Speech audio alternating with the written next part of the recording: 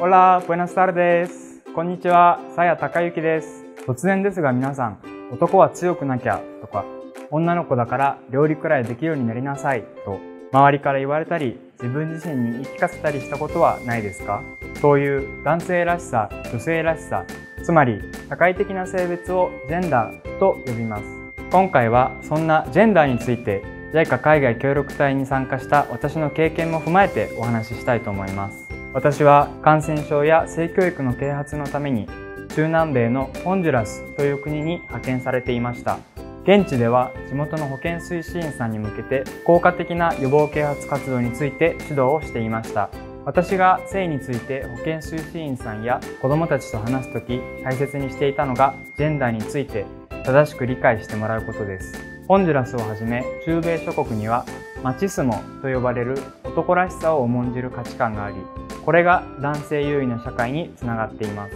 そのため家庭内暴力につながってしまったり女性が男性から望まない性行為を強要されてその結果性感染症や若年妊娠につながってしまうという問題がありました。ジェンダーの不平等はホンジュラスだけではなく日本を含め世界共通の課題です。私自身もこれまでジェンダーバイアスに苦しんだり疑問を持ったりしてきました。例えば中学時代吹奏楽部に入りたいと思ったのですが男子だからという理由で友達からからかわれていじめられそうになったことがあります。やりたいことがあってそれが実現可能な環境があってもジェンダーを理由に諦めなければいけないということに当時とても違和感を感じました。そこから男女の固定概念に疑問を持つようになり大学院では教育とジェンダーを専門に勉強しました。ホンジュラスでは子どもたちに男女の違いで将来の夢ややりたいことを諦める必要はなく一人一人が自由に決める権利がある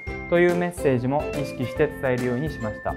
生まれ持った性によって痛みを味わったり挑戦できなかったり自分らしく生きられなかったりそんな差別のない社会が実現されることを心から願っています。